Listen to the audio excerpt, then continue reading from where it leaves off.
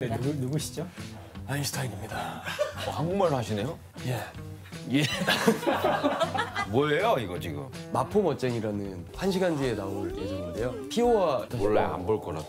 한번 봐주세요. 데리고 나가 뭐야? 왜 여기까지 데리고 이래? 무슨 말을 해야 할지 모르겠네.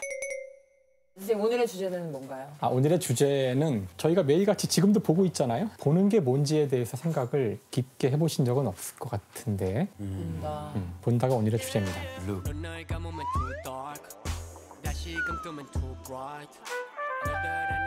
본다는 게 뭘까? 빛이 사물에 반사되어 홍채를 통해 들어와서 역시 모범생 답안이?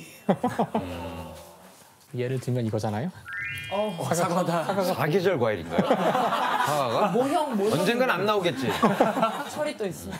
사과를 이제 보고 계시죠. 사과가 보인다는 게 무슨 뜻일까 생각을 해보면 첫 번째로 우선 광원이 있어야 돼요. 광은 빛 광자죠. 빛이 네. 있어야 돼요. 지금 이 방에서는 빛이 여기 있죠. 네. 형광등이 왜 빛을 내는지 설명하려면 양자역학이 필요하고요. 그러면 또 뭐가 있을까요? 우리 지난 시간에 했던 촛불? 촛불은 이제 멀리 아시잖아요. 연소. 예, 연소 반응을 이용해서 빛이 나오는 경우도 있고 햇빛, 자연. 햇빛, 태양, 태양이죠. 그런 식으로 사방에서 일단 빛이 먼저 있어야 돼요. 두 번째는 빛이 이 물체에 맞아야 돼요.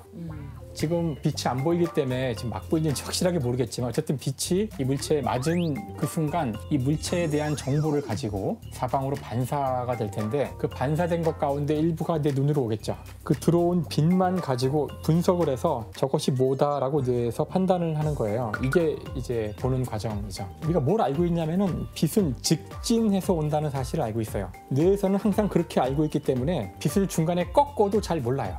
꺾인 줄을 예를 들어서 이 거울을 놓고 사과를 여기다 딱 놓으면은 우리 이걸 내가 보고 있지 않다면 저기 있죠. 네. 여기서 나온 빛이 거울에 맞고 반사해서 제 눈으로 온 거예요. 사람 눈은 항상 빛은 직진해 왔다고 생각을 하거든요. 사과가 저쪽에 있다고 생각하는 거예요. 이거 뭔가 당구 잘 치는 사람들이 잘 보는 만약에 거울을 통해서 여러 번 반사가 일어나면 뇌는 여러 개의 물체가 있다고 생각하게 돼요. 거울을 가지고 이렇게 비춰 보세요. 그러면은 어. 엘리베이터 가끔 거울이 거울을 또 비춰서. 그렇죠. 거울에 비춰서 또 이렇게 올 수도 있고 이런 가능성이 여러 개가 있는데 멋있네. 각각의 이 상이 다 직진해서 왔다고 생각하니까 여러 개가 있다고 생각하는 거죠. 사실 여러, 개, 여러 개가 있는 게 아니라 그러면은 무제한으로 계속 반사가 될 수 있는 거예요? 아니면 뭔가 반사될 때마다 좀 줄어들거나 여러 번 반사를 하면 결국은 다 사라지죠, 빛이. 예를 들어 동굴 안으로 들어간 빛은 못 나오거든요. 결국은 무수히 반사해서 다 흡수돼 버리기 때문에 구멍이 검게 보여요, 언제나. 이게 그러니까 그렇게 만들어진 검은색이 가장 완벽한 검은색이에요. 최근에 그 검은색으로 어떤 자동차도 콜라보 했다던데 벤타블랙, 벤타블랙 벤타블랙. 그게 이제 어, 너무 너무 아는 게 많아요. 특별한 그 안에 원작 구조를 만들어서 빛이 굉장히 많이 반사하도록 만든 거예요. 이 눈으로 보면 검은색이랑은 차원이 달라요. 빨려 들어가는 검은색. 사실 블랙홀이 그런 거죠. 들어간 빛이 나오지 않기 때문에 완벽한 검은색이